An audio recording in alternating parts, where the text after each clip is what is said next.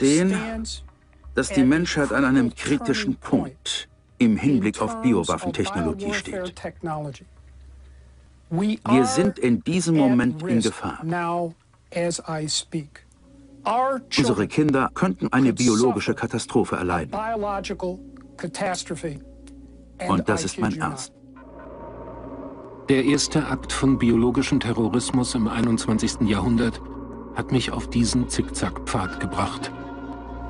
Der Versuch, einen Sinn in diesem Angriff zu finden, hat mich auf eine Odyssee um die ganze Welt geführt, auf der ich in die düstersten Geheimnisse einer düsteren Welt eindrang. Und jetzt, wo ich wieder auf afrikanischem Boden bin, erkenne ich, wie enorm der Albtraum ist, in den wir eingetreten sind. Wenn meine Reisen mich eines lehren, dann dies. Wenn es um Bioterrorismus geht, sind die Terroristen nicht diejenigen, die man erwarten würde.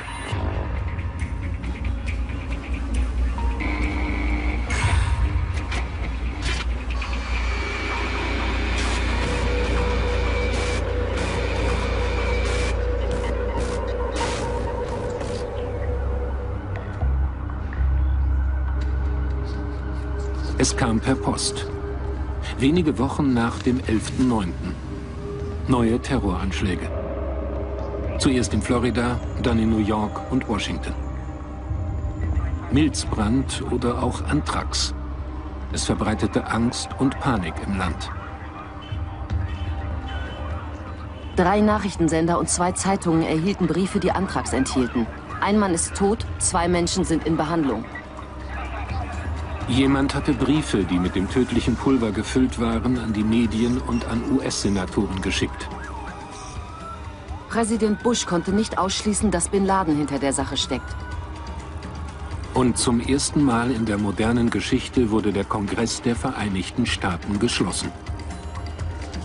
Fünf Menschen starben, 22 infizierten sich und das ganze Land wurde von einer bösen Vorahnung gepackt.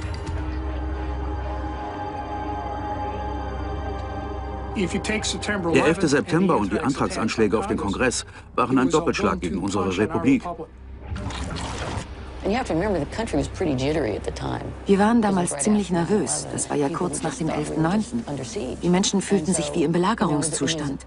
Alle waren überzeugt, dass die Welt es auf uns abgesehen hatte. Und plötzlich gab es das Antrags. Der Anschlag war ziemlich gut durchdacht. Im Prinzip war der Anschlag gegen uns alle gerichtet. Da er über das Postsystem lief, hätten die Spuren zu jedem nach Hause gebracht werden können.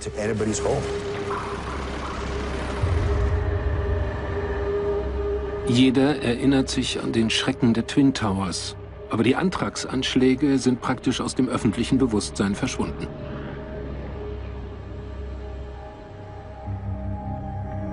Die Opfer, Bob Stevens, ein Bildredakteur einer Zeitung in Florida, Thomas Morris und Joseph Corsine, Mitarbeiter von US Postal aus New Jersey, Ottilie Landgren, eine Großmutter aus Oxford, Connecticut, und Kathy Nguyen, eine vietnamesische Krankenschwester aus der Bronx, starben und wurden begraben. Und ich fragte mich, warum diese ganze Geschichte von Bioterrorismus ebenfalls begraben worden war. Die Untersuchung der Antragsanschläge war die größte in der Geschichte des FBI. Unter dem Codenamen Ameritrax erstreckte sie sich über sechs Kontinente. Mehr als 9000 Menschen wurden vernommen und 6000 Vorladungen ausgestellt. Schon früh bestätigte das FBI, dass es nach einem alleinhandelnden Killer suchte und konzentrierte sich bald auf eine Person von Interesse, einen Wissenschaftler für Bioabwehr der US Army namens Stephen Hatfill. Ich bin nicht der Antragsmörder. Doch obwohl nie Anklage erhoben wurde, wurde er weiter vom FBI schikaniert und von den Medien verfolgt. Ich wehre mich gegen eine derartige Untersuchung, die durch unerhörte offizielle Stellungnahmen und gezielte Weitergabe von Informationen an die Medien einen Wahn nährt, der mir großen Schaden zufügt. Stephen Hatfill klagte erfolgreich gegen die Regierung und erzielte im Juni 2008 eine Einigung mit dem US-Justizministerium, das ihm 5,8 Millionen Dollar zahlte. Nach sechs Jahren schien die Untersuchung der Antragsanschläge durch das FBI in einer Sackgasse zu stecken. Doch dann, nur fünf Wochen nach der Einigung mit Hatfield, gab es eine dramatische Entwicklung. Endlich gibt es einen Verdächtigen für die Antragsanschläge. Er hat für das Antragslabor der Regierung gearbeitet und ist leider tot. Wir sind sicher, dass wir mit den Beweisen, die wir gesammelt haben, seine Schuld vor einem Gericht eindeutig beweisen können. Er hieß Dr. Bruce Ivans und starb am Dienstag im Krankenhaus, nachdem er offenbar eine sehr hohe Dosis verschreibungspflichtiger Schmerzmittel eingenommen hatte. Sein Anwalt bekräftigt heute die Unschuld seines Klienten. Jetzt, wo der Verdächtige tot war, würde das FBI seine Anklage nie vor Gericht beweisen müssen.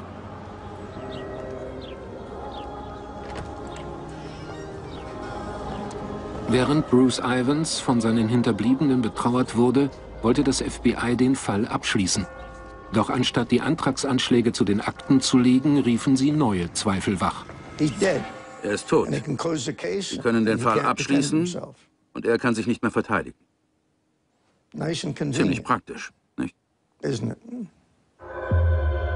Für Experten stand nicht nur fest, dass der Fall gegen Ivans auf indirekten Indizien beruhte und die wissenschaftlichen Beweise nicht überzeugend waren, sie stellten auch die beharrliche Behauptung, das FBI Ivans habe allein gehandelt, in Frage. In einer Detektivgeschichte wie bei Sherlock Holmes geht es immer um die Fragen, wer profitiert davon, wer hatte ein Motiv. Die Theorie vom Einzeltäter passt dem FBI. Irgendein Wahnsinniger hat eine geringe Menge davon gestohlen und es in seinem Haus angemischt. Er hat ein paar Briefe verschickt und jetzt ist er tot. Also brauchen wir kein Motiv. Der namhafte investigative Journalist Edward Epstein glaubte das nicht. Ebenso wenig wie der US-Senator Patrick Leahy, einer der Adressaten der Antragsbriefe. Ich glaube nicht eine Sekunde lang, dass er die einzige Person ist, die in diese Anschläge auf den Kongress und das amerikanische Volk verwickelt ist. Ich glaube, es gibt andere, die entweder vor oder nach der Tat daran beteiligt waren. Ich glaube, es gibt andere, die des Mordes angeklagt werden können. Der Schlüssel zu diesem komplexen Fall war die Tatwaffe, Anthrax. Bruce Ivans arbeitete als Mikrobiologe mit Anthrax in einem der geheimsten Militärlabore der Welt, dem medizinischen Forschungslabor für Infektionskrankheiten der US-Armee in Fort Detrick in Maryland. Fort Detrick hat eine lange Geschichte in der Arbeit mit Anthrax.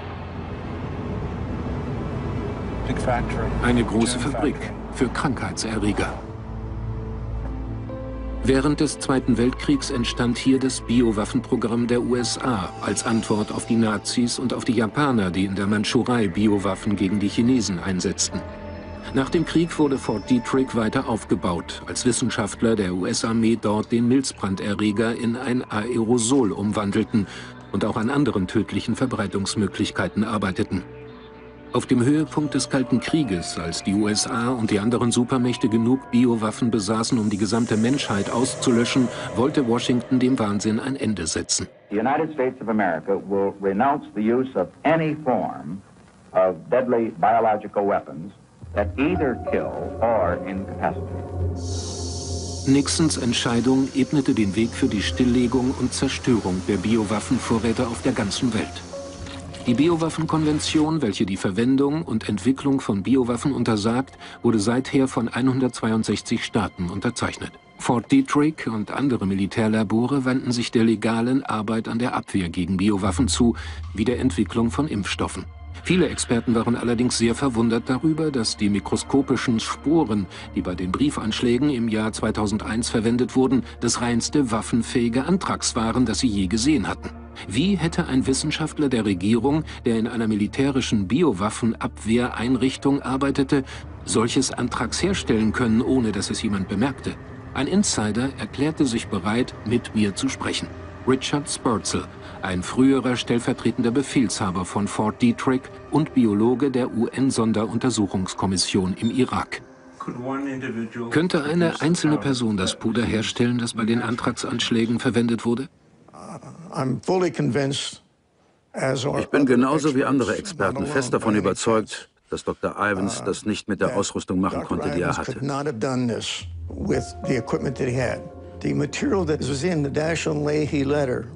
Die Partikel in dem Dashley-Leahy-Brief waren, laut FBI, 1,5 bis 3 Mikrometer groß. Das war hochverfeinertes Material. Ein solcher Durchmesser ist phänomenal.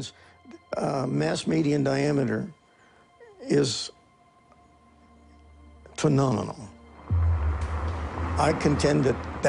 Ich behaupte, dass ein solches Puder nicht in Fort Detrick hergestellt worden sein kann, weil sie dort gar nicht die notwendige Ausrüstung haben, um so feine Partikel herzustellen. Es rutschte einfach so von den Objektträgern, als sie versuchten, es unter dem Mikroskop zu untersuchen. Es hatte eine außergewöhnliche Zerstreuungsfähigkeit. Die einzelnen Sporen waren mit einer Substanz namens Polyglas beschichtet, die Silika an jede Spore bindet.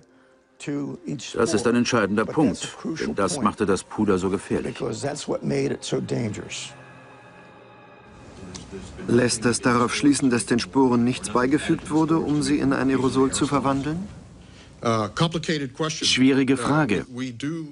Wir haben Silika in der Probe gefunden. Aber wir wissen nicht, warum es da war oder welchem Zweck es diente. Aber es war da.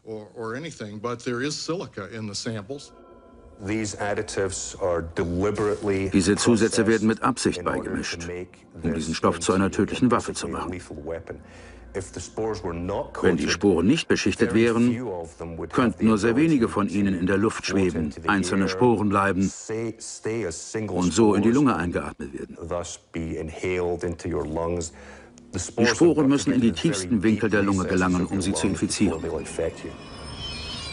Die Anwesenheit von weiterverarbeiteten Silika-Beimischungen bedeutet, dass das Anthrax zu einer Waffe gemacht wurde. 2002 ließ das FBI ein Team von Wissenschaftlern die Spuren noch einmal untersuchen. Matthew Messelson von der Harvard-Universität war einer von ihnen. Wir sahen alle dasselbe.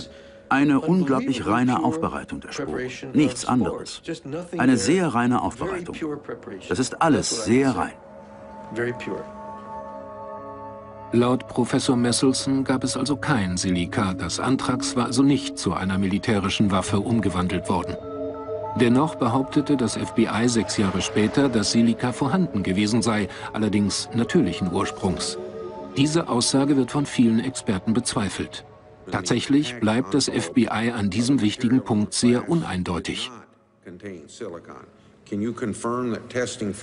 Können Sie bestätigen, dass Tests kein Silika in der Probe aus Dr. Ivans Labor in Fort Detrick nachweisen konnten? Und können Sie erklären, wie dann Silika in die Umschläge gelangt ist, die bei den Anschlägen verwendet wurden? Da müsste ich noch einmal nachfragen. Okay, tun Sie das bitte. Vielen Dank. Wenn das Anthrax tatsächlich waffenfähig gemacht worden war, kann das nur heißen, mehr als eine Person war beteiligt. Das ist eine Aufgabe, an der Wissenschaftler verschiedener Disziplinen arbeiten müssen. Als erstes braucht man einen Biologen, um herauszufinden, welchen Bakterienstrang man verwenden muss. In diesem Fall den Bacillus anthracis bacteria. Dann muss das Material fermentiert werden. Dafür braucht man einen Chemiker, um eine hohe Ausbeute an Sporen zu erhalten. Dann braucht man noch mehr Chemiker, um die Sporen zu trennen, weiter zu verarbeiten und zu konzentrieren. Derartige Mittel deuten auf ein staatlich gefördertes Programm hin. Und die US-Behörden hatten bereits eine wissenschaftliche Information veröffentlicht, welche die Liste der möglichen Verdächtigen erweiterte. Können Sie uns sagen, um welchen Stamm es sich handelt? Um den Ames-Stamm. Der Ames-Stamm ist einer der tödlichsten Anthrax-Stämme. Das US-Militär benutzt ihn für seine Anthrax-Forschung und hat ihn auch an andere Bioabwehrlabore auf der ganzen Welt weitergegeben. So I began to look ich untersuchte also, wer im Ausland Zugang zum Ames-Stamm hatte. Welche Labore hätten das tun können? Wir konnten das nicht auf die USA beschränken und alle anderen Länder ausschließen, weil dieser Stamm auch in England, in Kanada und in vielen anderen Ländern vorhanden war. Das FBI konzentrierte sich anfangs auf eines dieser Labore, Porton Down, das oberste Militärlabor Großbritanniens, das den Ames-Stamm in den 80ern aus Fort Detrick erhalten hatte. Zur gleichen Zeit wurde ein Teil von Porton Down an einen Finanzier namens Fuad El-Hibri verkauft, als Teil des Privatisierungsprogramms der Thatcher-Regierung. Ich war überrascht, ja geschockt, als ich entdeckte, dass ein Teil des Programms privatisiert und an Konzerne verkauft worden war, von denen einer einem libanesischen Bankier gehörte und von Firmen gehalten wurde, die auf den niederländischen Antillen saßen. Kaum nachzuverfolgende Verkettungen von Unternehmen hatten einen Teil des Geschäfts mit dem Anthrax-Impfstoff übernommen.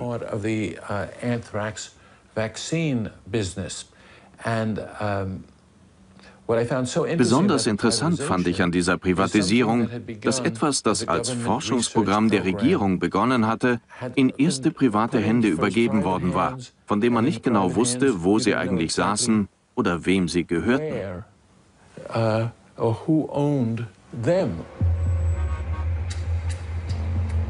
In den USA war dasselbe geschehen. 1998 konnte El-Hibri mit Hilfe guter Beziehungen zur Clinton-Regierung ein staatliches Labor übernehmen, das der einzige Lieferant für den Anthrax-Impfstoff an das US-Militär war.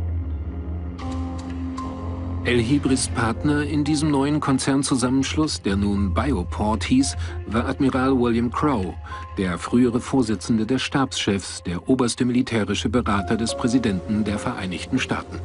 El-Hibris Firmen kontrollierten nun den Großteil des weltweiten Handels mit Anthrax-Impfstoffen. Und nach dem 11. September würde der Anthrax-Impfstoff zu einem großen Geschäft werden. Less than a teaspoonful of dry anthrax in an envelope shut down the United States Senate. Iraq declared 8,500 liters of anthrax, and Saddam Hussein has not verifiably accounted for even one teaspoonful of this deadly material. Die Angst vor Anthrax wurde zu einer wichtigen Rechtfertigung für den Krieg gegen den Irak. Und da Washington die Anthrax-Impfung zur Pflicht für alle Soldaten im Auslandseinsatz machte, stieg die Nachfrage nach dem Impfstoff.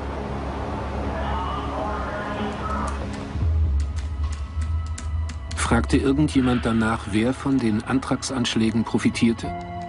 Auf der Suche nach Antworten auf die Frage, was hinter den Anschlägen steckte, fand ich heraus, dass ein Privatdetektiv ähnliche Fragen stellte. Er hieß Stephen Drash und behauptete etwas Verblüffendes. Es gab eine Verbindung zwischen den Antragsanschlägen und dem seltsamen Tod eines Wissenschaftlers, der das Mikrobiologielabor in Portendown geführt hatte. Das erste Mal hörte ich von Dr. David Kelly kurz nach dem 11. September. Die Antragsbriefe hatten gerade erst die USA erschüttert. Während die öffentliche Untersuchung in Stocken geraten war, begann ich in etwas einzudringen, was ich mittlerweile die internationale Biowaffenmafia nenne. Wenn jemand die Geheimnisse dieser Mafia kannte, war das David Kelly. Dann wurde auch er tot aufgefunden, in einem Wald.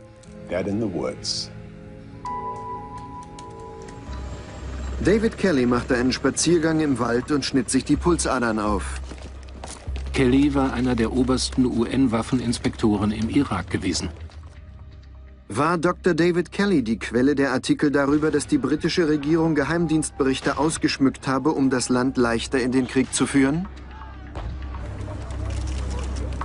Drashs Gerede von einer Biowaffenunterwelt klang wie eine Verschwörungstheorie. Ich überprüfte ihn und fand heraus, dass Stephen Grash ein früherer republikanischer Abgeordneter im Parlament von Michigan war, der nun als Privatdetektiv gegen Korruption kämpfte. 1998 hatte er den Kongress alarmiert, als El Hibri das US-Antragsgeschäft übernahm. Und nach den Antragsanschlägen hatte Drash die Parlamentarier dazu gedrängt, ihre Untersuchung auszuweiten und die internationalen Verbindungen der Konzerne unter die Lupe zu nehmen. Er war auf dem Weg nach England, um selbst David Kellys Tod zu untersuchen. Und ich beschloss, mich ihm anzuschließen.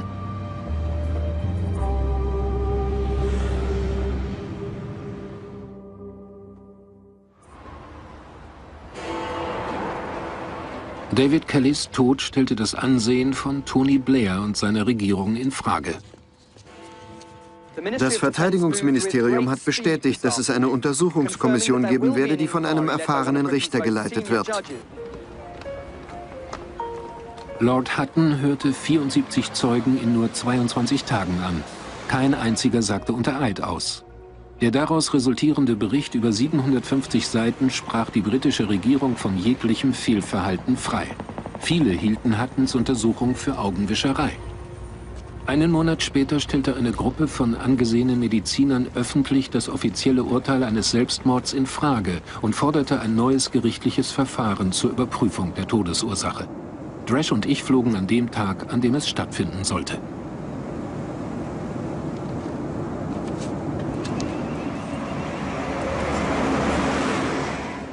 Es gab schwerwiegende Widersprüche in den forensischen Beweisen, doch nach weniger als zehn Minuten gab das Gericht bekannt, dass es keine weitere Untersuchung geben würde.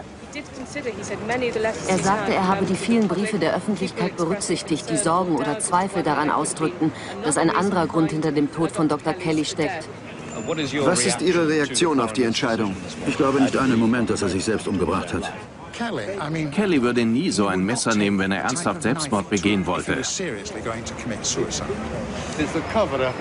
ist die Vertuschung einer Vertuschung. Und jetzt können Sie nicht mehr aufhören, weil Sie sonst ein Fass ohne Boden aufmachen. Welche Beweise wollte das Gericht nicht noch einmal untersuchen? Als erstes sprachen wir mit John Skerr, dem führenden Gefäßchirurgen Großbritanniens, einem der Experten, der öffentlich die Ergebnisse der Untersuchung angezweifelt hatte.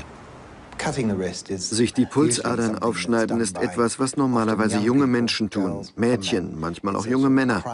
Es ist ein Schrei nach Hilfe und wird eigentlich nicht als zuverlässige Art Selbstmord zu begehen angesehen.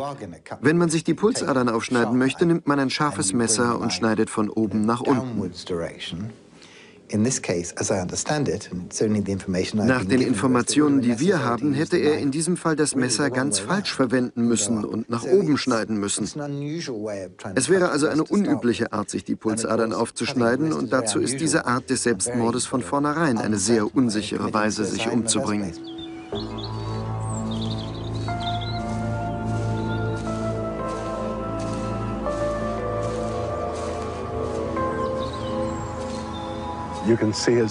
Man kann von seinem Grab aus die Stelle sehen, an der er starb.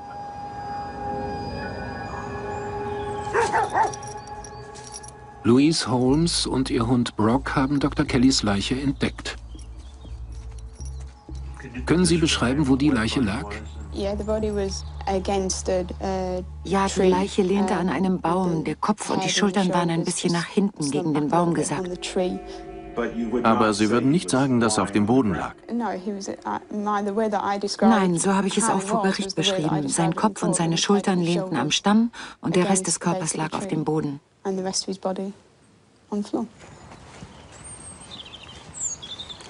Ich vermute, es war ein schöner Juli-Nachmittag am 17. Juli, als David Kelly auf diesen Hügel stieg.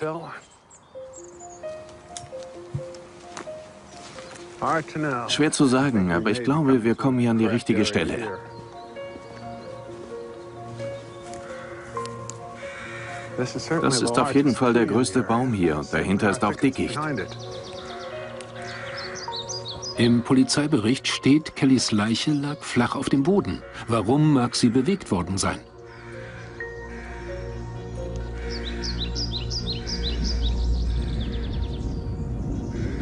Es dauerte zwei Jahre, bis unsere Zweifel bestätigt wurden.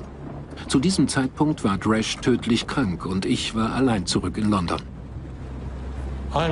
Ich bin über jeden berechtigten Zweifel hinaus überzeugt, dass David Kelly ermordet wurde. Norman Baker ist nicht irgendein Beobachter, sondern ein langjähriges Mitglied des britischen Parlaments und hat ein Jahr lang David Kellys Tod untersucht. Es gab keine Fingerabdrücke auf dem Messer, mit dem David Kelly sich umgebracht haben soll. Das macht es aus meiner Sicht sehr unwahrscheinlich, dass er Selbstmord begangen hat.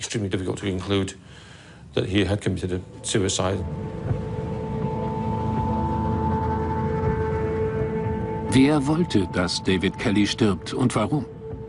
Gordon Thomas, der Autor von über 50 Büchern, von denen viele in der Welt der Geheimdienste spielen, behauptet, er habe David Kelly ein paar Monate vor seinem Tod getroffen. David Kelly was David Kelly spielte eine wichtige Rolle in der Geheimdienstwelt der biologischen Kriegsführung. Er wusste mehr als jeder, den ich kenne. Und er war brillant. Deshalb wurde er auch von allen Geheimdiensten konsultiert, wenn sie in Schwierigkeiten waren. Zum Beispiel von der CIA oder dem kanadischen Geheimdienst.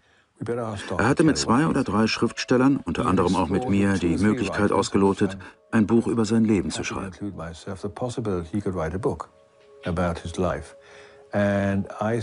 Ich sagte damals zu ihm, David, du weißt, dass du einen Geheimhaltungsvertrag unterzeichnet hast. Und er sagte, ja, das weiß ich. Ich brauche jemand anderen, der das Buch schreibt, mit den Informationen, die ich ihm gebe. Ich meinte, dass er damit nicht davonkommen würde, aber er wollte es einfach tun. Ich fragte ihn, worüber er sprechen wolle, ohne dass wir alle Schwierigkeiten bekämen. Ich war unsicher darüber, was ich mit Thomas Geschichte anfangen sollte und beschloss mir, Kellys Arbeitsplatz anzusehen. Porton Down das streng geheime Zentrum für die biologischen und chemischen Waffenprogramme Großbritanniens. Sieh mal, verboten. Wir sind in Porton Down.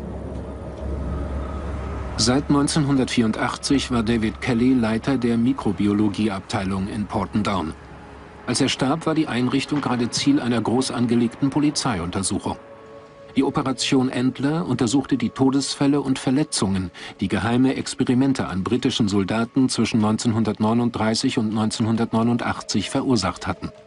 Der Anwalt Alan Kerr vertrat einige der Opfer. Es gab Experimente, in denen Menschen in Gaskammern gesteckt und Sarin ausgesetzt wurden, einer chemischen Waffe, oder Senfgas, Luisid oder CS-Gas, mit dem öffentliche Ausschreitungen in Schach gehalten werden.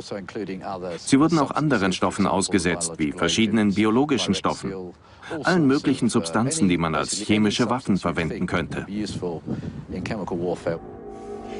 Nach drei Jahren Ermittlung hatte die Polizei genug Beweise, um Wissenschaftler in Porton Down anzuklagen.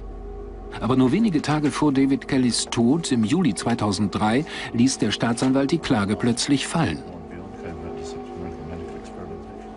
The Operation Antler die Operation Entler wird im Bericht von Lord Hutton nicht erwähnt, obwohl dort 30 Ermittler die Vorgänge in Porton Down auf kriminelle Handlungen untersuchen.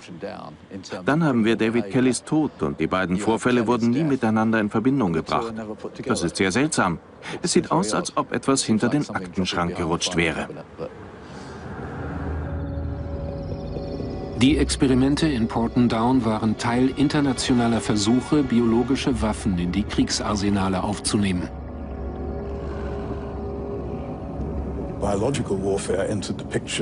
Biologische Waffen kamen erst kurz nach dem Zweiten Weltkrieg richtig groß auf. Es gab auch schon währenddessen Programme dafür. Aber nach dem Krieg schien das Drohpotenzial von Biowaffen, diese zur wichtigen Waffen in der Zukunft zu machen.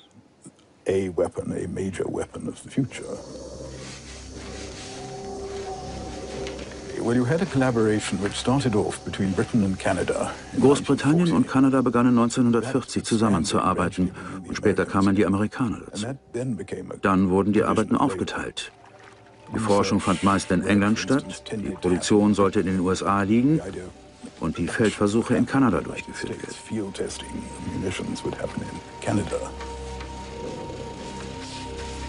Diese Kollaboration erforderte eine enge Zusammenarbeit zwischen Fort Detrick und Porton Down. Frank Olson, ein Wissenschaftler in Fort Detrick, war in den frühen 50ern ein Verbindungsglied zwischen den beiden Einrichtungen. Am 28. November 1953 stürzte er 13 Stockwerke aus einem New Yorker Hotelzimmer in den Tod. Sein Sohn Eric ist davon überzeugt, dass sein Tod weder ein Unfall noch Selbstmord war, sondern ein Verbrechen, das seine geheime Arbeit notwendig gemacht hatte. Er wusste von Experimenten mit Menschen und von den extremen Verhörmethoden, die zum Tod der Befragten führten. Wenn es am Kalten Krieg etwas Beängstigendes gab, dann war es das. Frank Olson arbeitete für die Special Operations, eine geheime Zusammenarbeit zwischen Fort Detrick und der CIA. Und sein Sohn sagt, er wollte aussteigen.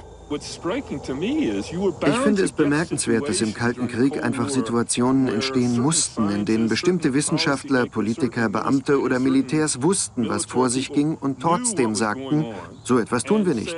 Das ist unter der Würde der Vereinigten Staaten. Und die Frage ist, was man mit diesen Leuten macht. Man konnte sie nicht vor Gericht stellen, noch nicht einmal vor ein Militärgericht.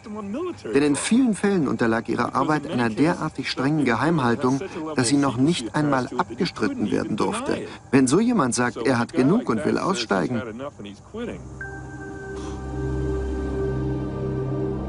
Erst 1975, 22 Jahre nach Frank Olsons Tod, behauptete die Regierung, jemand habe ihm LSD gegeben und er sei daraufhin aus dem Fenster gesprungen. Sein Sohn glaubte das nie. 1994 ließ Eric Olson die Leiche seines Vaters von einem forensischen Pathologen exhumieren, der Beweise dafür fand, dass Frank Olson ein Schädeltrauma, verursacht durch einen stumpfen Gegenstand, erlitten hatte, bevor er in den Tod gestürzt war. Wir haben David Kelly, der im Wald stirbt, und Ivans, der hier stirbt. Und naja, das ist wirklich ziemlich gruselig.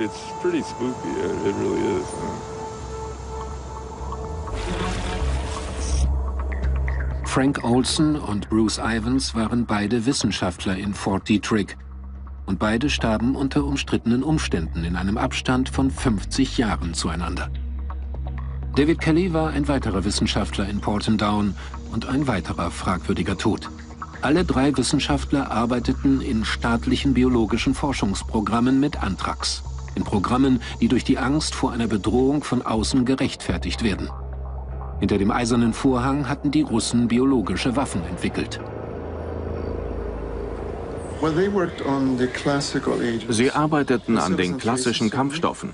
Natürlich am Bacillus anthracis, an Tularemie, Botulinumtoxin, dem Kuhfieber und an der venezolanischen Pferdeencephalomyelitis. Sie haben im Kalten Krieg ungefähr neun dieser Stoffe waffenfähig gemacht. Beide Seiten bauten ihre Forschungsprogramme und ihre Bestände an bakteriellen Waffen aus, bis diese 1972 geächtet wurden. Die Biowaffenkonvention von 1972 ist wohl der wichtigste Abrüstungsvertrag der Geschichte, weil er nicht nur den Gebrauch der Waffen verbietet, sondern auch deren Vorratsbildung und deren Entwicklung. Es war wirklich ein sehr guter Vertrag und viele von uns dachten, Gott sei Dank, eine Bedrohung für die Menschheit wurde abgewehrt.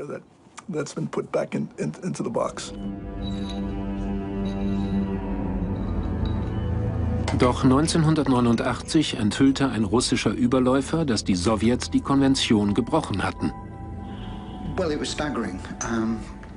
Es war schwindelerregend. Eine riesige Anzahl von sehr qualifizierten Wissenschaftlern forschte nicht nur an den klassischen Kampfstoffen, sondern versuchte auch auf sehr unterschiedliche Weisen neue Stoffe zu entwickeln und stellte große Mengen an waffenfähigem biologischem Material. her. Die Größe dieses Programms, die vielen verschiedenen Dinge, die sie ausprobierten und die Menge der Produktion waren wirklich sehr erschreckend.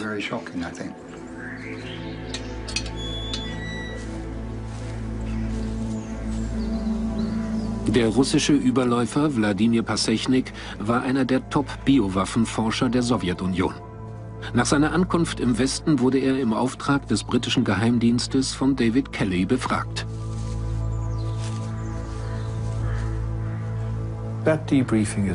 Diese Befragung ist sehr interessant, denn zum ersten Mal erfuhren Großbritannien und die USA, was die Sowjetunion in Sachen biologische Kriegsführung alles unternahm. Der Schatten dieser verdeckten Forschung hängt immer noch über Jekaterinburg. Diese Industriestadt, die mitten in Russland an der Grenze zu Sibirien liegt und früher Sverdlovsk hieß, war eines der Zentren der verbotenen Programme der Sowjetunion. 1979 wurde ein einziges Gramm Anthrax aus der Fabrik 19, einem geheimen Biowaffenlabor der Armee, freigesetzt.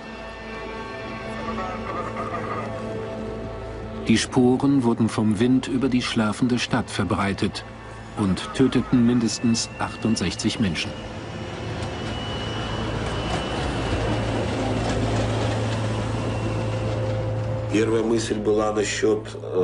Zuerst dachten wir, es sei die Pest und nicht Anthrax, weil die beiden sehr ähnlich sind. Dann dachten wir, dass ein Krieg mit biologischen Waffen begonnen hätte, dass wir angegriffen worden seien. Wir wussten dann zwar, dass es Anthrax war, aber nicht, um welchen Typ es sich handelte oder wo es hergekommen war. Ich muss zugeben, dass ich Angst hatte. Die sowjetischen Behörden machten verseuchtes Fleisch für den Ausbruch der Krankheit verantwortlich. Aber der Pathologe Lev Greenberg und seine Kollegen bewiesen, dass die Opfer von pulmonalem Anthrax getötet worden waren. Das bedeutet, die Spuren waren vom sowjetischen Militär absichtlich in Aerosole umgewandelt worden, sodass sie klein genug waren, um eingeatmet zu werden. Ähnlich wie die Spuren, die bei den Anschlägen in den USA verwendet wurden. Diese Leute hätten nicht spurlos verschwinden sollen.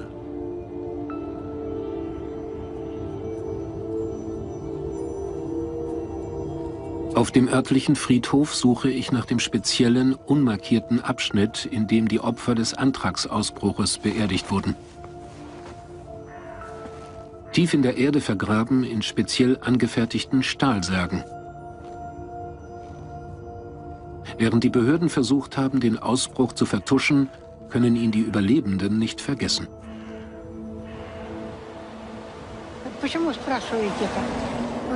Warum fragen Sie danach? Seither ist so viel Zeit vergangen. Damals war jeder krank. Vor allem um die Kinder ist es schade. Die meisten Menschen in diesem Gebäude sind gestorben. Heute sind wir alle krank. Alle Kinder sind krank.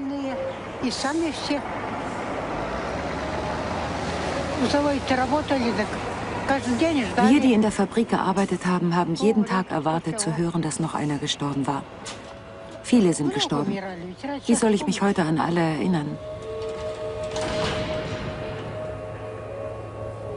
Gegen Ende des Kalten Krieges kommt ein sowjetischer Wissenschaftler nach Großbritannien mit Beweisen dafür, dass entgegen der Hoffnungen vieler Menschen die Biowaffenkonvention weit davon entfernt war, der stärkste Waffenvertrag der Geschichte zu sein.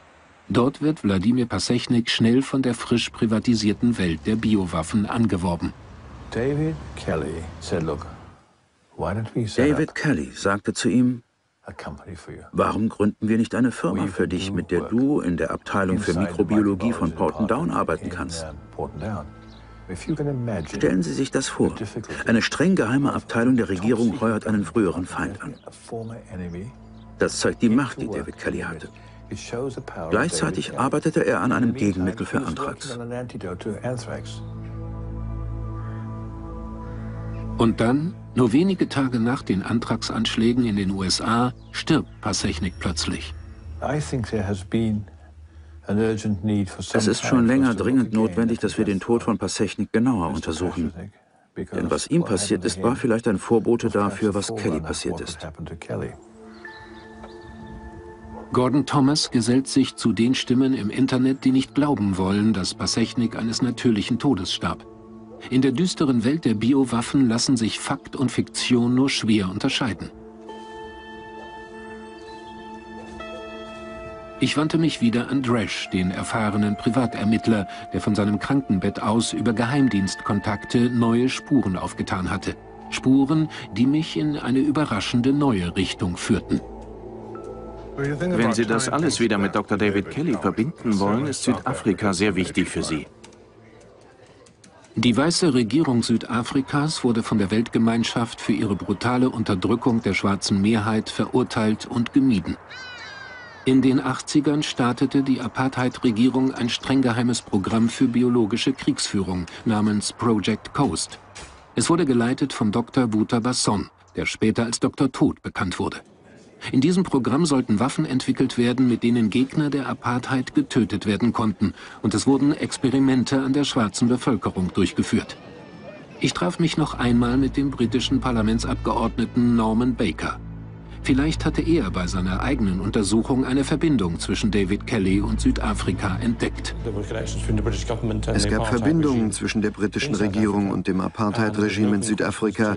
Und es stellt sich die Frage, wie viel die damalige Regierung Thatcher über das Project Coast wusste. Bekam sie Informationen, die aus diesem Programm stammten, oder hat sie es sogar heimlich unterstützt? Auf jeden Fall gab es schon länger eine Verbindung zwischen David Kelly und Wouter Basson. Nach Kellys Tod gab es einen Zeugen weniger für den Kontakt zwischen Kelly und Dr. Tod. In der Zwischenzeit hatte mein Partner Dresch von einem früheren Wissenschaftler des Project Coast Wind bekommen, der versucht hatte, den USA Anthrax und andere Kampfstoffe zu verkaufen, die während der Apartheid entwickelt worden waren. War es möglich, dass Anthrax auf dem Schwarzmarkt zum Verkauf angeboten wurde? Ich musste nach Südafrika fliegen und es herausfinden.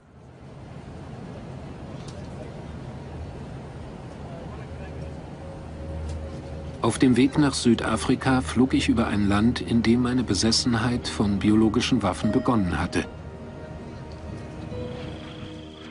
Ich war in Rhodesien aufgewachsen, einer britischen Kolonie, die von ihrer weißen Minderheit regiert wurde. Als ich in den 70ern erwachsen wurde, tobte ein echter Bürgerkrieg im Busch.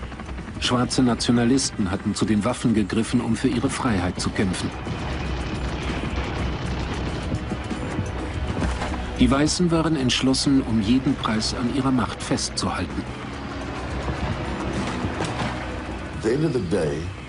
Im Prinzip weigerten wir uns, Rhodesien in die Hände der schwarzen Mehrheit zu geben.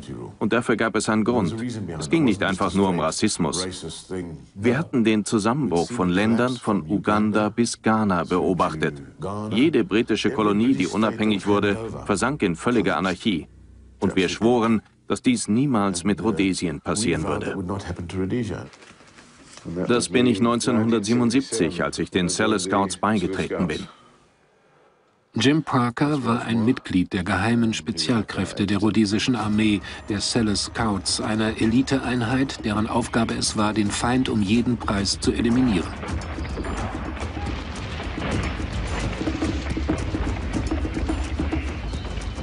Parker hat ein Buch geschrieben, in dem er die geheimen Aktivitäten seiner Kampfeinheit gegen Aufstände enthüllt. Als der Konflikt sich ausweitete und die schwarze nationalistische Guerilla an Boden gewann, begannen die Scouts chemische und biologische Waffen einzusetzen.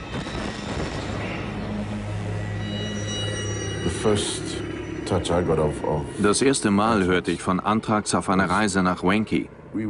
Der diensthabende Assistenzarzt dort war Sandy Kirk. Wir saßen bei ihm und quatschten über verschiedene Dinge. Und als ich ging, sagte er, wir haben Anthrax in der Gegend von Kailupane eingesetzt. Insgesamt wurden dort in dem Jahr 10.000 Menschen mit dem Milzbranderreger infiziert. Das ist beispiellos. Solche Zahlen gab es nirgendwo sonst auf der Welt jemals wieder. Bis heute dementieren viele, dass der Milzbrandausbruch in Rhodesien, der größte jemals aufgezeichnete, absichtlich herbeigeführt wurde. Jim Parker ist der erste Celle Scout, der öffentlich zugibt, dass es so war. Schließlich war ganz Rhodesien, das heutige Simbabwe, mit Anthrax infiziert.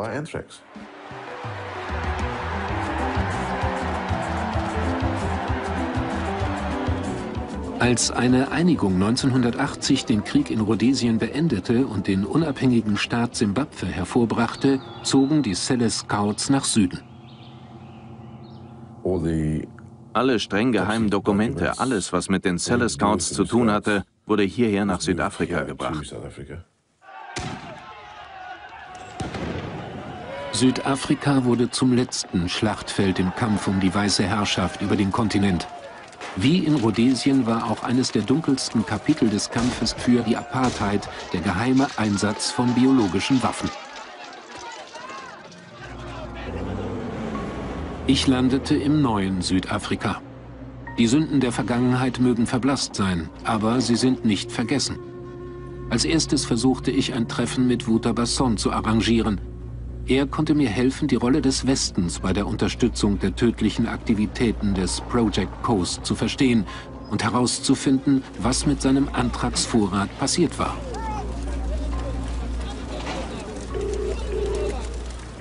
Guten Tag, wie kann ich Ihnen helfen? Äh, guten Tag, hier ist Bob Cohen. Kann ich bitte mit Dr. Basson sprechen? Er hat gerade einen Patienten. Kann er zurückrufen? Dr. Tod hatte sich seit mehr als fünf Jahren nicht mehr öffentlich gezeigt. Ich wusste, dass ich einer Vermutung nachging. Basson führte ein angenehmes Leben, offensichtlich unversehrt von seinen dunklen Taten. Während der Apartheid hatte Basson das Project Coast betreut, das auf den Erfahrungen aus Rhodesien basierte. Es versteckte sich hinter Deckfirmen und Auslandskonten und operierte mit weltweiten Geheimdienstverbindungen, so dass die erschreckenden Aktivitäten dieses Project Coast erst nach dem Fall des weißen Minderheitsregimes aufgedeckt wurden. I now declare that the hearing of the Truth and Reconciliation Commission is now in session. 1996 wurde die südafrikanische Wahrheits- und Versöhnungskommission eingerichtet, um es Opfern der Apartheid zu ermöglichen, öffentlich auszusagen. Die Kommission ermutigte auch ehemalige Mitglieder der Sicherheitskräfte des Apartheidsregimes, ihre Taten zu gestehen und sicherte ihnen im Gegenzug Amnestie zu. Ermittler der Kommission entdeckten geheime Dokumente des Project Coasts, die Basson versteckt hatte. Unter den Forschungsberichten, die die Ermittler der Wahrheitskommission in Bassons Wagenladungen von Dokumenten entdeckten, waren Berichte, die eindeutig darauf abzielten, Gifte zu finden, die Einzelpersonen verabreicht werden und zum Tode führen konnten, postmortem aber nicht mehr nachzuweisen waren. Es ging also eindeutig darum, Menschen zu töten, ohne dass einem jemand auf die Schliche kommt. Sie entwarfen Mordwaffen, klassisches Spionwerkzeug, Regenschirme mit vergifteter Spitze, die Kapseln aus Polycarbonat verschießen konnten, die dann ein Gift in den Blutkreislauf des Opfers abgeben sollten und nach dessen Tod nicht mehr nachzuweisen waren. Im Gegensatz zu anderen Wissenschaftlern des Project Coast weigerte sich Wouter-Basson auszusagen.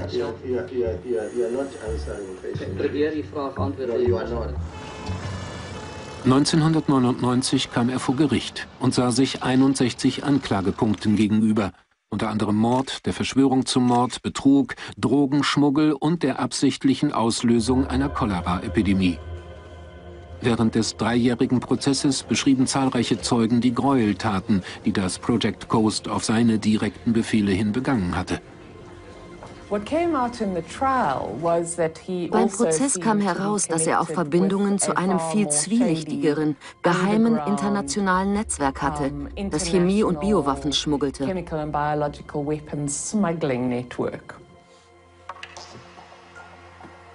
Am 22. April 2002, 30 Monate nach Beginn seines Prozesses, wurde Basson von allen Vorwürfen freigesprochen.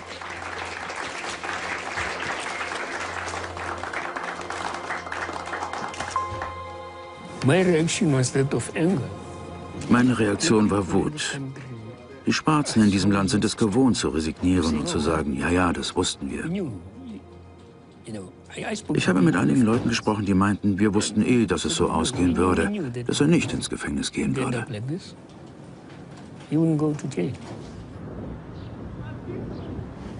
Themba Molefe hat für den Sowetan, die führende schwarze Tageszeitung Südafrikas, vom Prozess berichtet.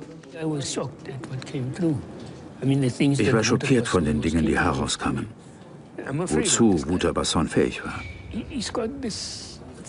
Ich habe Angst vor ihm. Er hat ein unschuldiges Gesicht, aber für mich ist das eine Maske.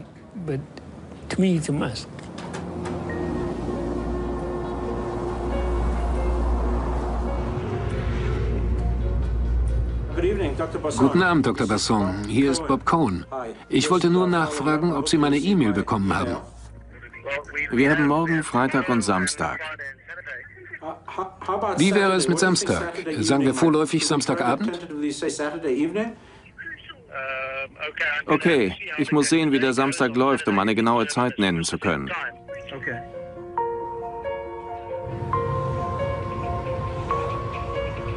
Nichts hätte mich auf Dr. Tods fehlende Reue vorbereiten können.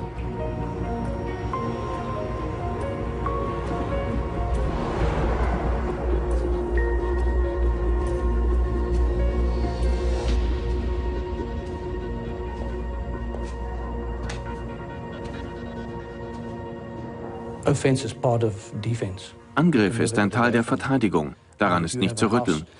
Wenn du ein Haus hast, das du gegen Einbrecher schützen willst, baust du eine hohe Mauer und einen elektrischen Zaun darum. Dann hast du Rottweiler im Garten, Gitter an den Fenstern und eine Alarmanlage im Haus. Aber wenn du eines Nachts aufwachst und der Einbrecher ist in deinem Schlafzimmer, dann will er bestimmt nicht den Preis deines Fernsehers mit dir verhandeln. Du kannst dich also nur durch einen Angriff verteidigen. Wenn du ein großer Kerl bist, schlägst du ihn einfach zusammen. Aber wenn du eher klein bist, so wie ich, musst du ihn erstechen oder erschießen. Basson hatte immer darauf bestanden, dass das Project Coast lediglich der Selbstverteidigung diente. Und wenn es darum ging, hatte Südafrika mächtige Verbündete im Westen.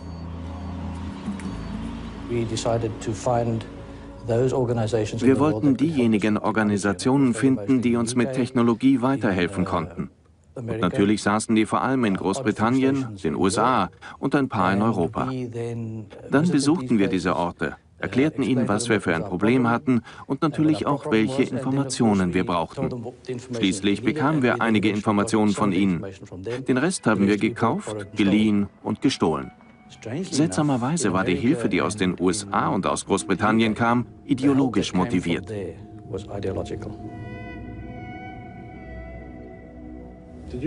Kannten Sie David Kelly? Ich traf Kelly drei oder viermal. Uh, Dabei ging es ausschließlich um den Austausch von Informationen. Bei diesen seltenen Kontakten schien er mir ein ehrlicher, intelligenter und leidenschaftlicher Mann zu sein, dem seine Arbeit sehr wichtig war. Haben Sie ihn je in Portendown getroffen? Das kann ich nicht beantworten. Aber wir haben ihn mehrere Male getroffen. Wenn man Basson glauben mag, dann hat er sich mit David Kelly zum Informationsaustausch getroffen. Konnten Sie Portendown besuchen, Fort Detrick? Ja, wir waren dort. Können Sie darüber sprechen? Nein, lieber nicht. Denn die nächste Frage ist dann, wer es arrangiert hat. Warum, was und wo. Ich habe schon genug Probleme mit der britischen und der amerikanischen Regierung. Das reicht mir. Aber es reicht wohl, wenn ich sage, dass wir nie mit der Absicht dorthin gegangen sind, Großbritannien oder den USA Schaden zuzufügen. Unsere einzige Absicht war es, herauszufinden, wie sie uns helfen konnten, wie wir mit ihrem Wissen unser eigenes Programm verbessern konnten enhance our own program based on their knowledge. Die Politikwissenschaftlerin der US Naval Academy, Helen Perkett, eine führende Expertin für das Project Coast, räumt ein, dass die USA sehr wohl mit dem südafrikanischen Regime hätten kooperieren können. Die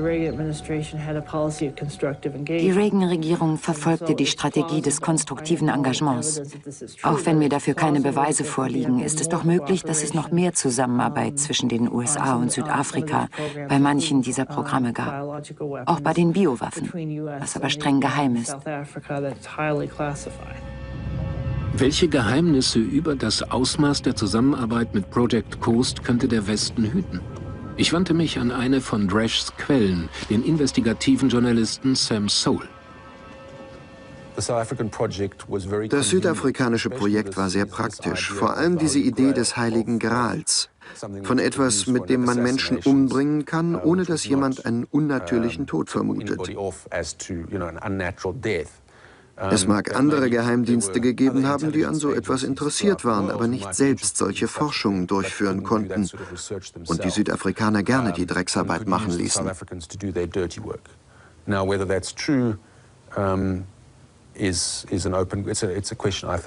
Ob das stimmt, lässt sich nicht so leicht beantworten. Aber es gibt ziemlich viele Beweise dafür, dass Basson Hilfe aus dem Westen bekam. Zum Beispiel der Besuch von Larry Ford.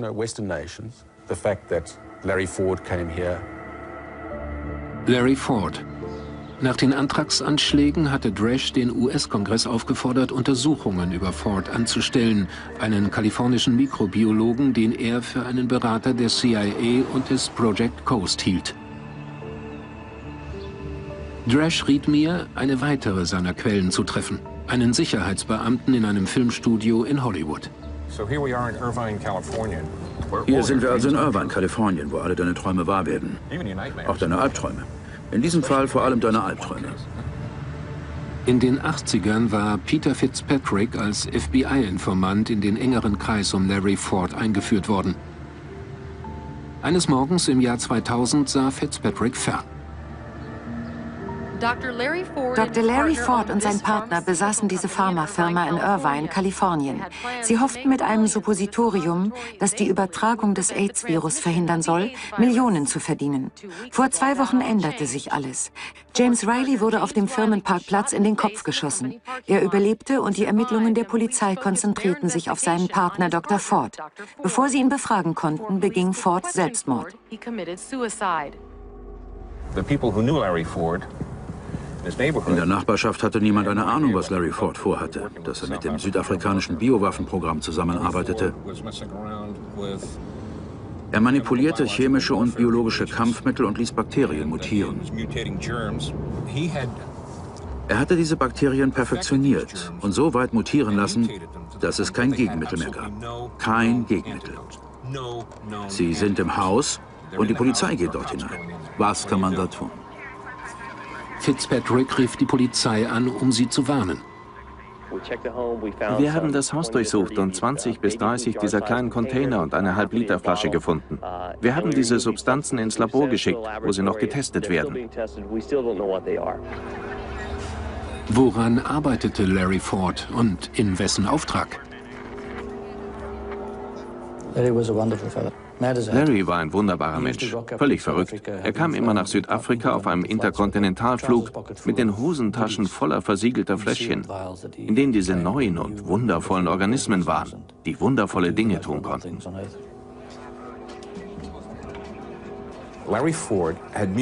Larry Ford hatte die Erreger der Cholera, Typhus, Anthrax, Botulinum und der Beulenpest mutieren lassen und er hatte neue Erreger gezüchtet, die er Kaffirtöter nannte.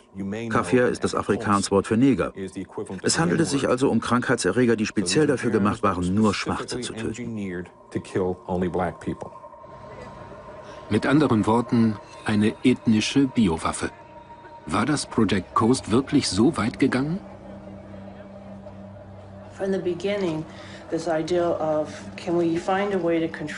Von Beginn an wurde die Frage, wie die schwarze Bevölkerung kontrolliert werden konnte, als einer der wichtigsten Forschungsschwerpunkte gesehen. Mit der Zeit gewann sie an Gewicht, als der Anteil der schwarzen Bevölkerung wuchs und die Aufstände gefährlicher wurden.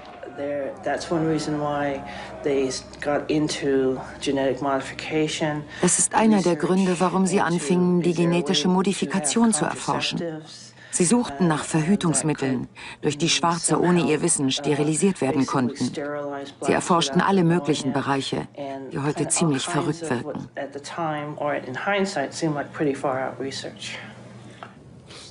Ich habe von einer ethnischen Waffe gehört, an der das Project Coast arbeitete, die schwarze Bombe genannt wurde. Das war toll, ja. Der größte Spaß meines Lebens.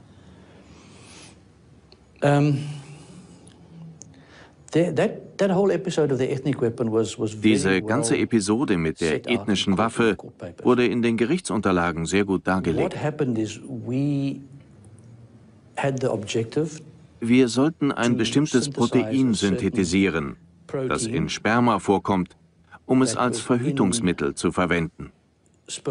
Die Idee dahinter war, dass eine Frau gegen Sperma immun und somit unfruchtbar gemacht werden sollte.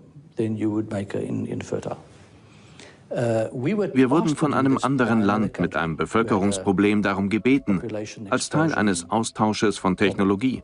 Sie sagten zu uns, wir haben weder Zeit noch Platz daran zu forschen. Könnt ihr das für uns tun? Ich konnte mir Larry Fords FBI-Akte besorgen. Aber unzählige Seiten waren aus Gründen der nationalen Sicherheit zensiert worden, sodass kaum Hinweise auf seine angebliche Arbeit an einer Rassenwaffe und auf seine Beziehung zum US-Geheimdienst blieben. Die amerikanische und die britische Regierung gingen sehr weit, um alle Hinweise auf Project Coast zu vernichten. Sie drängten Südafrika dazu, seine Biowaffenvorräte und alle damit verbundenen Dokumente zu vernichten. Basson behauptet, die Hinterlassenschaft sei einfach ins Meer gekippt worden. Das Salzwasser wirkt stark oxidierend, sodass sich eh alles schnell auflöst. Wir flogen ein paar Stunden und haben dann alles ins Meer gekippt. Ich habe keine Ahnung, wo genau. Ich saß hinten im Flugzeug, der Pilot müsste wissen, wo er hingeflogen ist. Irgendwann hat er die Türen geöffnet, wir haben alles rausgekippt und sind zurückgeflogen. Dresch beschaffte sich einen streng geheimen Bericht des südafrikanischen Militärs an Präsident Mandela, in dem stand, dass die Vorräte des Project Coast zerstört worden seien. Aber er fand auch heraus, dass wenige Monate nach den Antragsanschlägen ein ehemaliger Wissenschaftler des Project Coast, Dan Gosen, versucht hatte, Washington dieselben Erreger zu verkaufen, die angeblich ins Meer gekippt worden waren.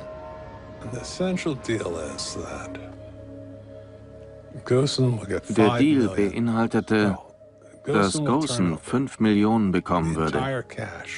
Er wollte dafür den gesamten geheimen Biowaffenvorrat von Project Coast abliefern.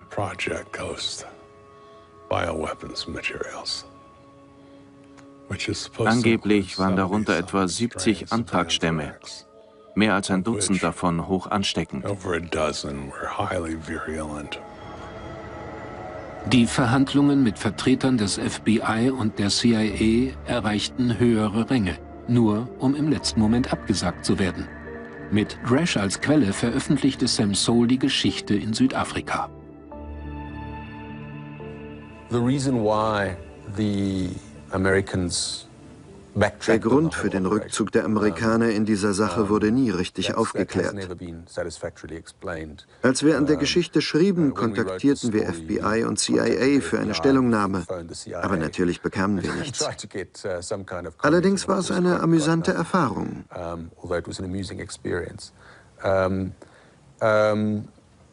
Es gibt also noch viele offene Enden.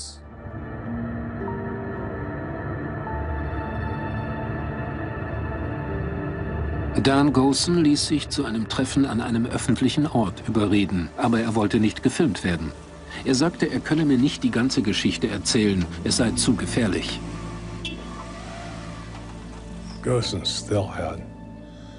Gosen hatte noch immer die Kontrolle über die geheimen Vorräte. Niemand hatte sie gefunden, er hatte sie gut versteckt. Die südafrikanische Regierung hat sich zurückgezogen und nichts getan. Sie warten also immer noch darauf, dass man sie abholt.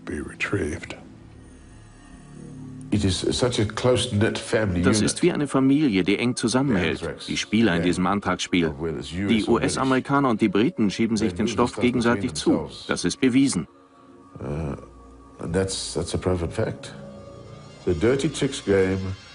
Alle Regierungen spielen in diesem dreckigen Spiel mit und sie werden nicht damit aufhören. Warum auch? Ich glaube, dass sie heute noch alle mitspielen, auch die Amerikaner, denn sie wollen nicht außen vor bleiben. Sie müssen das alles aufbewahren.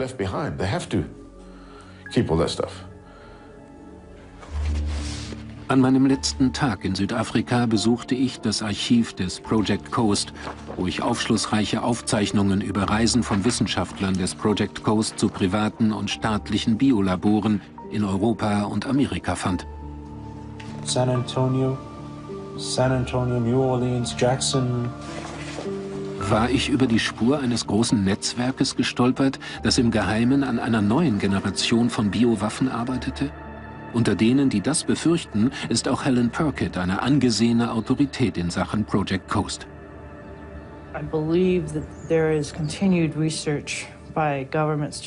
Ich glaube, dass auch heute noch Regierungen auf diesem Gebiet forschen lassen. So werden Biowaffen wohl in Zukunft eingesetzt werden, um bestimmte Bevölkerungsgruppen angreifen zu können. Ich finde das sehr beängstigend.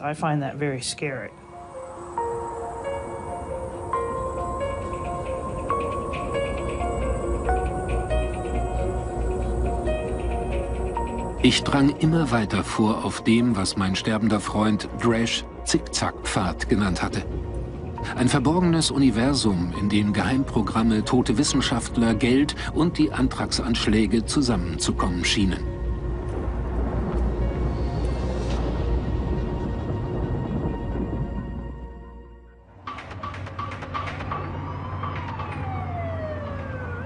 I'm always worried about what we don't know.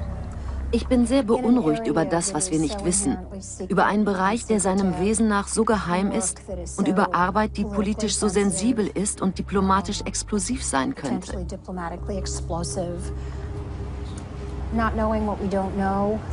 Nicht sicher zu sein, was wir nicht wissen, bringt Verschwörungstheorien hervor, von denen einige paranoid sind und andere vielleicht nicht. Und solange wir das nicht offenlegen, was wir wissen, können wir niemandem vorwerfen, paranoid oder verschwörerisch zu sein. Dies ist nämlich ein Bereich, in dem es sehr schwer ist, Fakt und Fiktion zu trennen. Es gibt Biothriller, die heute durchaus im Bereich des Machbaren liegen. Eine Woche vor dem 11. September deckte die Pulitzer-Preisträgerin Judith Miller mit zwei Kollegen der New York Times in einer Titelstory die Existenz von geheimen Biowaffenprogrammen der US-Regierung auf. Eines der am meisten umstrittenen Programme hieß Clear Vision. Das war ein Projekt der CIA, das die Waffen rekonstruieren sollte, von denen wir dachten, dass die Sowjetunion sie entwickelt hätte, um sie gegen uns zu verwenden. Sprengköpfe, kleine Bomben und Verbreitungsvorrichtungen aus dem riesigen Biowaffenarsenal, das sie vor ihrem Zusammenbruch besessen hatte. Ein anderes geheimes Programm vereinte Anthrax, die CIA und Battelle, ein privat geführtes Labor, das für die nationale Sicherheit arbeitete. Das Battelle-Labor arbeitete für das Project Jefferson und sollte herausfinden, ob die Sowjets zwei Kampfstoffe kombiniert hatten, um einen Milzbranderreger herzustellen, der gegen unsere Impfstoffe resistent war. Uh, Jahrelang versuchten sie einen solchen Erreger in diesem streng geheimen Labor im Außenbezirk von Columbus, Ohio, zu reproduzieren.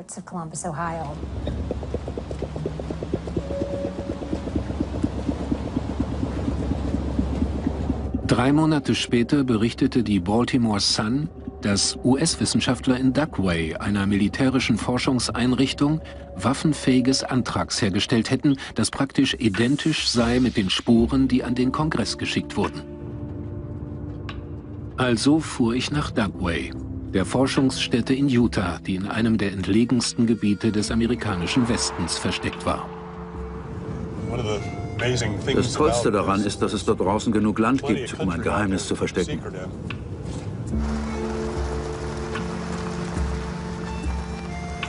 Steve Erickson ist schon lange Mitglied einer Bürgerinitiative, die die Aktivitäten in Duckway überwacht. Wir haben uns alle Presseberichte genau angesehen, die unmittelbar nach dem Auffinden von Anthrax in den Umschlägen erschienen. Von Anfang an kam uns die Qualität des Anthrax verdächtig vor. Dass es sich um den AIM-Stamm handelte, deutete auf unsere eigenen Verteidigungseinrichtungen hin, also auf Dugway. Wir wussten, dass sie dort dieses Material in ein Aerosol verwandelten. Und neben Fort Detrick in Maryland haben sie hier die meiste Fachkenntnis im Umgang mit Anthrax. Wir glauben also, dass das Anthrax sehr wahrscheinlich hier in Dugway hergestellt und zurück nach Detroit geschickt wurde. Und vielleicht wurde unterwegs etwas abgezweigt und landete in den Briefen. Wir werden es wohl nie genau wissen.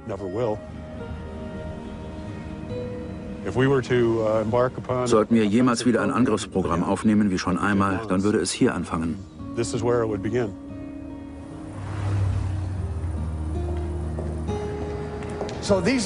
Das hier sind Biosicherheitslevel 3 Labore. Sehen Sie die Kameras dort links?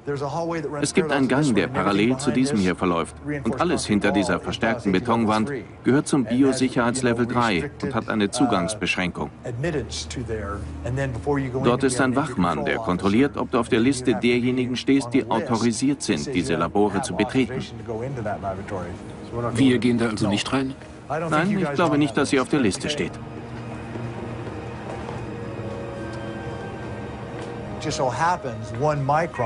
Ein Mikrometer ist die ideale Größe für ein Partikel, um eingeatmet zu werden und in die Lungenbläschen zu gelangen. Deshalb sind die biologischen Kampfstoffe, mit denen wir arbeiten, einen Mikrometer groß, weil das die richtige Größe ist, um von Menschen eingeatmet zu werden. Das Wichtigste an einem biologischen Kampfstoff ist, wie effektiv er eingeatmet werden kann und wie ansteckend er ist. Anscheinend wurden bei den Anschlägen sehr fein verarbeitete, sehr kleine Antragsspuren verwendet. Ja, sie waren ein Mikrometer groß. War es deshalb so gefährlich? Das ist einer der Gründe dafür. Es gibt hier mehrere Wissenschaftler, die mit dem FBI in diesem Fall zusammengearbeitet haben. Wir wissen also über alles Bescheid, aber wir haben Erklärungen unterschrieben, dass wir nicht darüber sprechen, wie das Antrax genau aussah. Aber dieses Labor stellt in der Tat waffenfähiges Antrax her, wahrscheinlich als einziges im ganzen Land. Tatsächlich gibt es noch andere Labore. Judith Miller deckte auf, dass auch Battelle mit waffenfähigem Anthrax arbeitet. Dies sind echte Waffen und sie wurden gegen das amerikanische Volk und gegen den Kongress eingesetzt. Kennen Sie andere Einrichtungen in den USA, die in der Lage sind, diese Waffen herzustellen, die gegen den Kongress und das amerikanische Volk eingesetzt wurden, außer Dugway in Utah und Battelle in Ohio? Ich glaube, es gibt noch andere. Ich kenne keine außer Dugway und Battelle. Und ich frage das, weil ich auch den Artikel in der New York Times vom 4. September 2001 gelesen habe, in dem steht, dass die USA in den letzten Jahren ein Programm für geheime Forschung an Biowaffen gestartet haben. Selbst die Clinton-Regierung kannte dessen vollen Umfang nicht.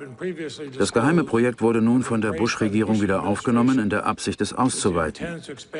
Bitte überprüfen Sie das in der Pause noch einmal und sagen Sie mir, ob es noch mehr Labore gibt als Dugway und Battelle. Das werde ich tun.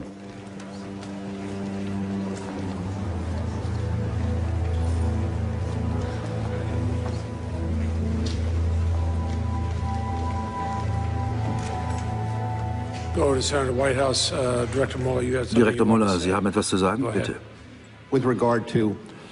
Uh, In Bezug auf die beiden Labore, die Sie erwähnt haben, und auf die Frage, ob es noch andere Labore gibt, die waffenfähiges Antrags herstellen können, bitte ich um eine geschlossene Sitzung, da die Antwort Militärgeheimnisse beinhaltet.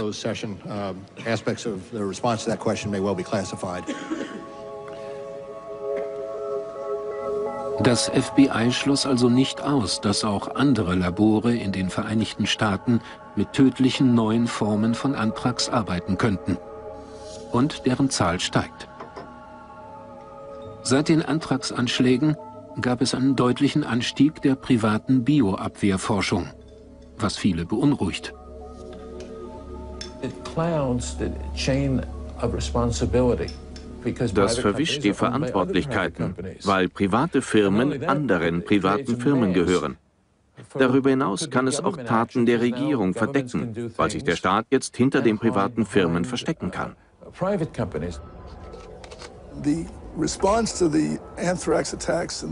Die Antwort auf die Antragsanschläge und das Aufkommen des Bioterrorismus war die landesweite milliardenteure Kampagne Schützt uns vor unbekannten Terroristen. Allerdings sieht dieses Programm so aus, dass Sie sich fragen, was würden die Terroristen wohl tun? Was ist der fieseste, gefährlichste, am schwersten zu diagnostizierende und behandelnde Mikroorganismus, den wir kennen?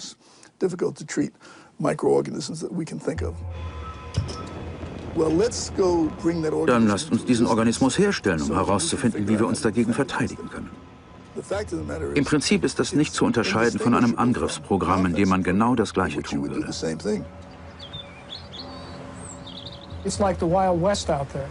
Es geht dort zu wie im Wilden Westen. Und die Regierung wirft mit Geld nur so um sich. Die Biolabore breiten sich rasend schnell im ganzen Land aus und forschen und entwickeln unreguliert. Hier ist zu viel Geld im Spiel, als dass irgendjemand Nein sagen würde.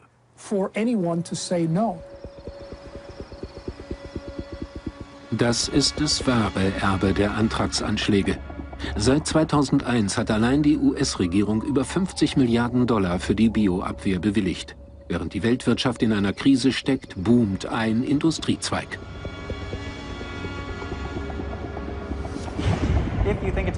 Wenn Sie denken, dass eine Aktie an diesem turbulenten Markt unmöglich 250 Prozent an Wert gewinnen kann, dann kennen Sie offensichtlich Emergent Biosolutions oder EBS noch nicht. Ihr Trumpf ist ein Exklusivvertrag mit der Regierung über die Herstellung von Antragsimpfstoff, mit dessen Hilfe die Aktie um 250 Prozent gestiegen ist. Emergent Biosolutions ist der neue Name von Bioport, der Firma, auf die Stephen Dresch den US-Kongress aufmerksam gemacht hatte. IBS ist immer noch der einzige Lieferant von Antragsimpfstoff an das US-Militär. Bis heute hat die Firma 18 Millionen Einheiten im Wert von 440 Millionen Dollar geliefert.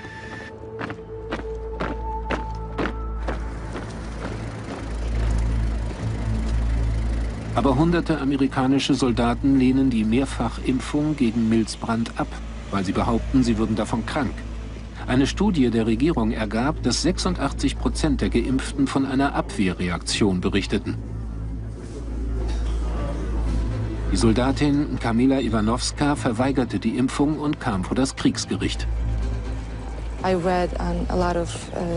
ich las, dass die Impfung bei einigen Soldaten sehr viele Nebenwirkungen hervorgerufen hatte. Also, Und ich hörte uh, damals auch vom Golfkriegssyndrom. Von Leuten, ich sollte sie wohl Opfer nennen, die von der Antragsimpfung sehr krank wurden.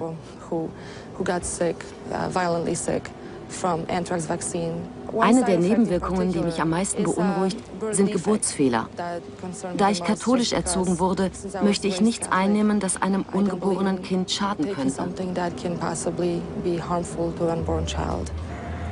Dr. Marion Ness, eine Spezialistin für Milzbrand, wurde als Expertin von der Verteidigung geladen. Glauben Sie, dass die Impfung gefährlich ist?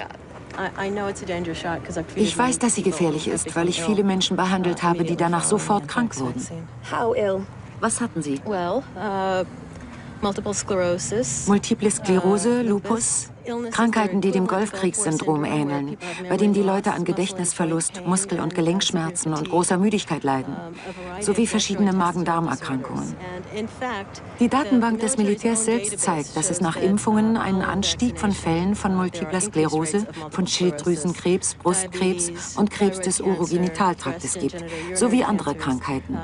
Es gibt also genug Daten, die beweisen, dass die Impfung unsicher ist.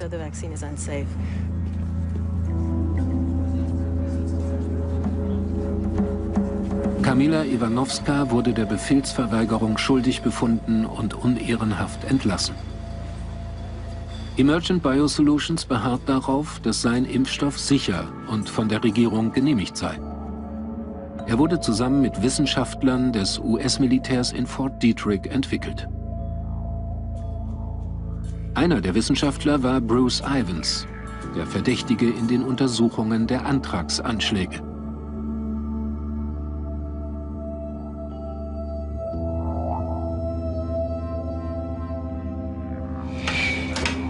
Im Oktober 2008 erhielt IBS einen neuen, 400 Millionen Dollar schweren Auftrag über 14 Millionen Einheiten für die Zivilbevölkerung. Ohne Wissen der meisten Amerikaner unterzeichnete die US-Regierung gleichzeitig ein Gesetz, das einen siebenjährigen Antragsnotstand ausrief. Polizisten, Feuerwehrleute und medizinisches Personal sollen nun auch geimpft werden. Das Gesetz schützt IBS und Regierungsbeamte vor jeglichen Haftungsansprüchen aus Folgen der Impfungen. Fort Detrick erlebt gerade die größte Expansion seiner Geschichte.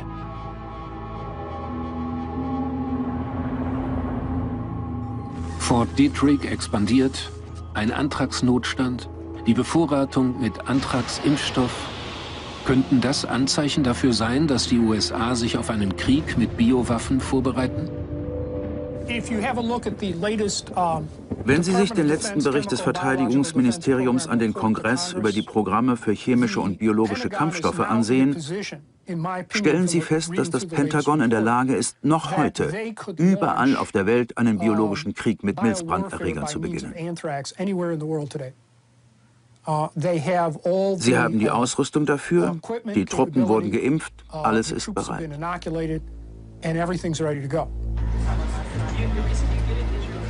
Laut Professor Boyle, dem Autor eines Gesetzes, das es US-Bürgern verbietet, die internationale Biowaffenkonvention zu verletzen, ist die Planung für einen Antragskrieg offensichtlich im vollen Gange. Sie fordern ein Computermodell, um einen weltweiten Angriff mit 5000 Biowaffen zu simulieren. In den Dokumenten wird der Begriff Angriff verwendet. Das ist offensiv.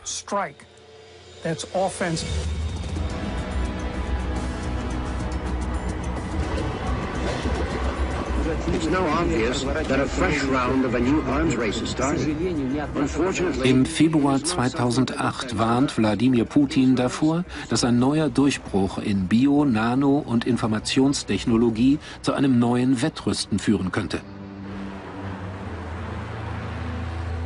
In Jekaterinburg hatte ich nach der Fabrik 19 gesucht, dem geheimen Militärlabor, aus dem 1979 Milzbranderreger ausgetreten waren. Viele Beobachter vermuten, dass hinter diesen Mauern immer noch Biowaffen entwickelt werden. Ist es möglich, dass die Gegenspieler im Kalten Krieg einen neuen Biokrieg anfachen? Wenn das irgendjemand weiß, dann Ken Alibek. Alibek hatte ein großes sowjetisches Geheimprogramm zur Biowaffenforschung überwacht, bevor er 1992 zum Westen übergelaufen war. Er hatte sein Wissen über Biowaffen an das US-Militär und auch an die private Bioabwehrindustrie weitergegeben und war ein Berater von Battelle, dem CIA-Zulieferer. Im Jahr 2007 war er plötzlich in den Osten zurückgekehrt. Ich fand ihn in Kiew, beunruhigt über den schmalen Grat zwischen Bioabwehr und Angriff. Die Vereinigten Staaten geben sehr viel Geld, Milliarden von Dollar für die sogenannte Bioabwehr aus, wie sie sagen.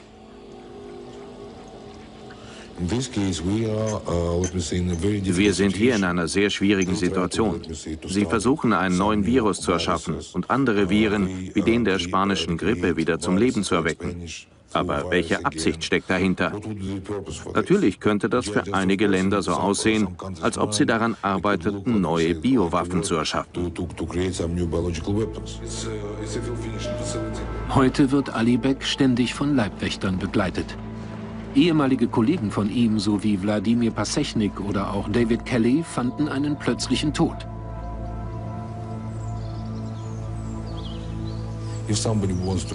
Wenn diese Leute dich umbringen wollen, ist das für die gar kein Problem. Die haben ihre Profis, die sich um so etwas kümmern.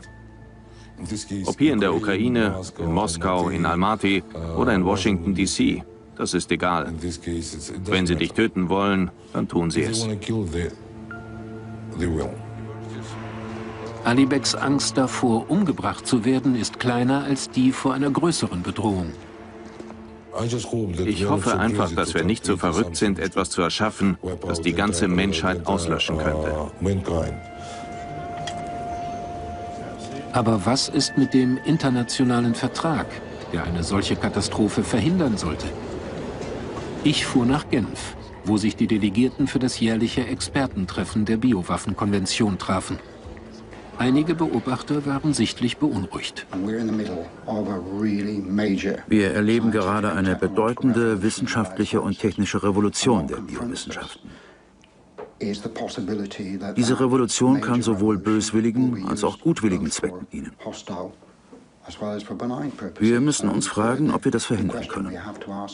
Und die Antwort ist, wir wissen es nicht.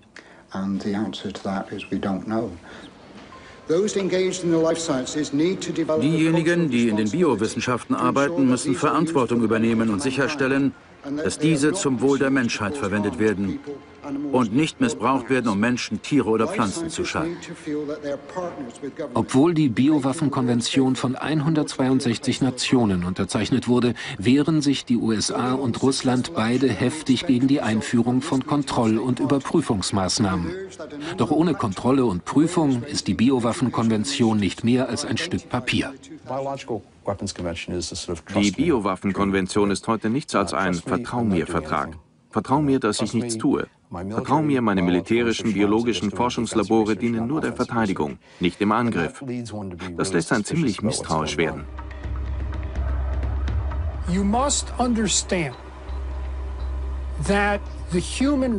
Sie müssen verstehen, dass die Menschheit an einem kritischen Punkt im Hinblick auf Biowaffentechnologie steht. Wir sind in diesem Moment in Gefahr. Wir müssen die Forschung daran, die Versuche damit und die Technologie selbst unter demokratische Kontrolle bringen.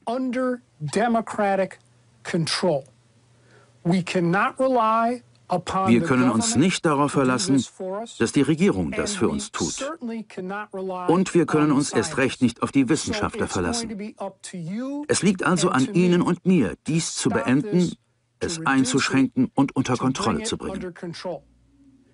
Wenn wir das nicht tun, könnten unsere Kinder eine biologische Katastrophe erleiden. Und das ist mein Ernst.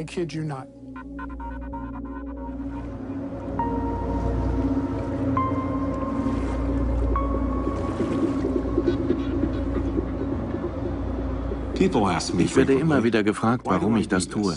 Die Wahrheit ist ein mächtiges Desinfektionsmittel, das es wert ist, entdeckt und verbreitet zu werden. Die Antragsanschläge werden wohl nie vollständig aufgeklärt werden. Und wir werden wohl nie wissen, welche Geheimnisse die Wissenschaftler mit in ihre Gräber genommen haben. Auf meiner langen Reise habe ich festgestellt, dass sich unbeobachtet im Dunkeln die Wissenschaft des Todes wie ein Krankheitserreger auf dem Planeten ausbreitet. Es ist Zeit für eine Desinfektion.